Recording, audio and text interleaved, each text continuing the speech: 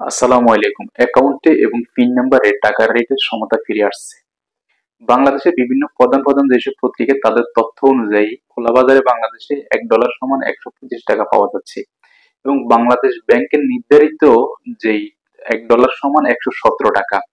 So এই কারণে দেখা যাচ্ছে বাংলাদেশের যেমন আপনার বিভিন্ন দেশ থেকে আমরা যারা টাকা পাঠাই বা সৌদি বলেন, কুয়েত, কাতার, যেখানেই বলেন, সেই সকল দেশ থেকে টাকা পাঠালে সেই ক্ষেত্রে মোটামুটি যদি হিসাব করা হয় তাহলে সেই তুলনায় আপনি এখন বর্তমানে রেট কিছুটা বেশি পাবেন। আজকের এই ভিডিওতে জানিয়ে দিব মালয়েশিয়ার আজকের টাকার রেট কত এবং অ্যাকাউন্টে পিন নাম্বারের সমতা যেহেতু এসেছে, তাহলে অ্যাকাউন্টের রেট কত এবং পিন নাম্বারের রেট কত?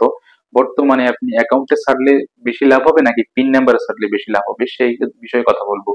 আরও জানতে পারবেন, আগামীতে টাকা রেট বাড়তে পারে কিনা এই বিষয়ে কথা বলব আজকের এই ভিডিওতে। তাই পুরো ভিডিওটি না দেখে যাবেন অবশ্যই এবং শেয়ার করুন ভিডিও যাতে সবাই দেখতে পারে।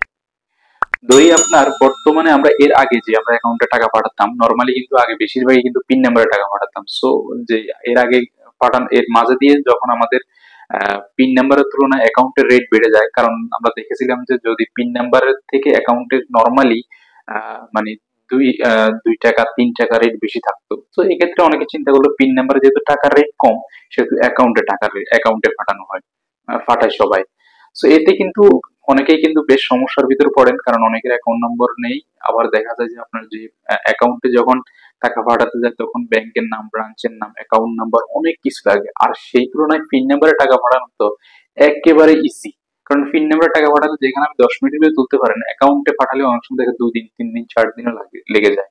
পিন নাম্বারে টাকা পাঠানোর ক্ষেত্রে শুধুমাত্র হচ্ছে কি আপনার বাংলাদেশের যে ভোটার আইডিটা আছে বা বাংলাদেশের যে জাতীয় পরিচয়পত্র আছে, জাতীয় পরিচয়পত্রে আপনার ইংলিশে যে নামটা আছে, সেই নাম অনুযায়ী আপনি এসে দিলে কাউন্টার দিলে আপনার টাকা পাঠিয়ে দিলে দশ মিনিটের ভিতরে আপনি ওই কার্ডটা ওই কার্ডটা নিয়ে বাংলাদেশের যে কোনো ব্যাংক থেকে আপনি পিন নাম্বারের টাকা সহজে তুলে নিতে পারতেছেন। সো আজকে মালয়েশিয়ার এক রিঙ্গির সমান পিন নাম্বারে যেখানে আপনার পিন নাম্বারের রেট দিচ্ছে আপনার চব্বিশ টাকা, তিরিশ পয়সা।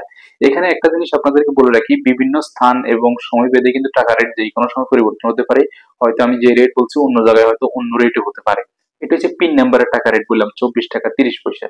আর যদি এই পিন নাম্বার রেট যদি প্রণোদনা সহকারে হিসাব করেন, তাহলে সেই রেট দেখায় দাঁড়ায় প্রায় চব্বিশ টাকা নব্বই পয়সা। আর যদি আপনি অ্যাকাউন্টে পাঠান অ্যাকাউন্টে দেখা যায় যে আজকে রেট আছে চব্বিশ টাকা পঁচপান্ন পয়সা।